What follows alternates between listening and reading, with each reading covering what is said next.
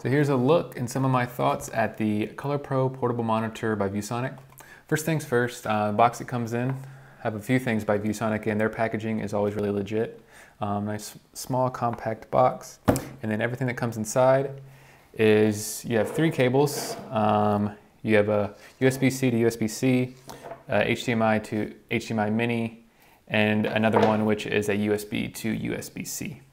Um, other than that, you have a power adapter where you can plug it into the wall, and then you have also the um, hood that goes over the monitor, and I'll show you how that goes on in a little bit. So getting into it, I actually have it plugged into my MacBook right now uh, through USB-C. Um, I'll unplug that, show you what it's like, the different plugs that are on the end right here.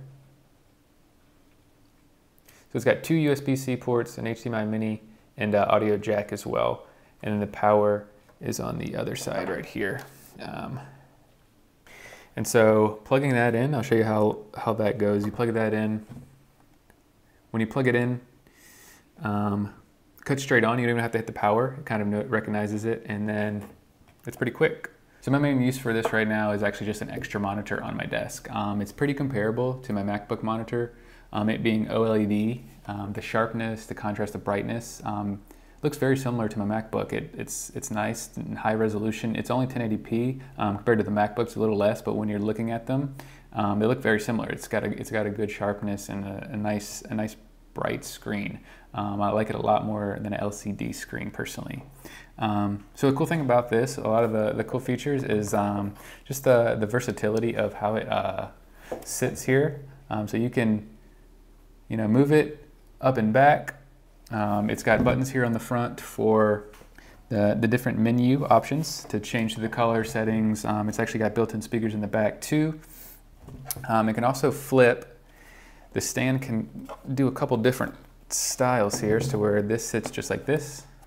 Um, so you can set that just like that and it kind of creates like a little stand for it and it sits flat. Um, and also can go vertical. Um, you will need to um, change the orientation on whatever it's plugged into so that the image is, is showing up um, vertically, but with the stand, it can completely sit vertically, so you can use it as a vertical monitor as well. So it comes with a hood as well, which kind of also doubles as a protective case for the front um, if you leave it on here. So it's got magnets all the way around, and you let those hook onto the back and then the sides as well. And then just like that, you have a little hood for it. Um, for different uses with your outdoors. You just have a lot of different types of light. You want to block light. Um, it's got a flap, kind of make it stronger on the inside.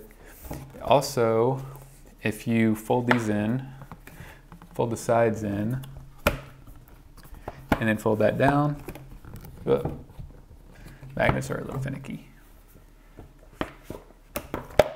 Kind of creates a protective little front layer for it too.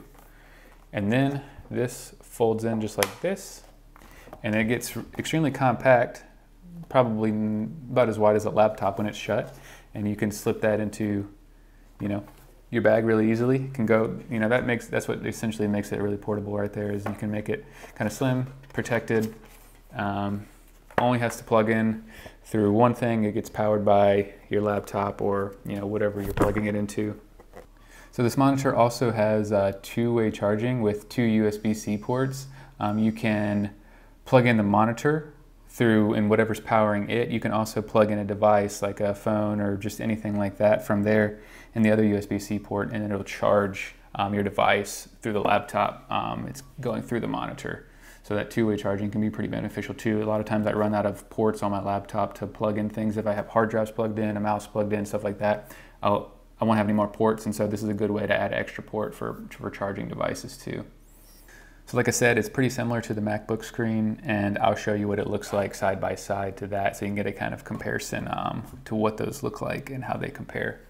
So overall, I think this is a really handy little monitor if you're kind of in the need of a, of a second um, monitor, especially one that's portable, can go with you anywhere, plugs in really easy, has a lot of cool features, and it's versatile. I did get this from ViewSonic as a part of a campaign to help them create some content, um, but I've had a couple different items from ViewSonic, like I said, and I'm a really fan of all of the products, and I really like the company. Um, I think this is a good monitor, and I definitely uh, recommend it.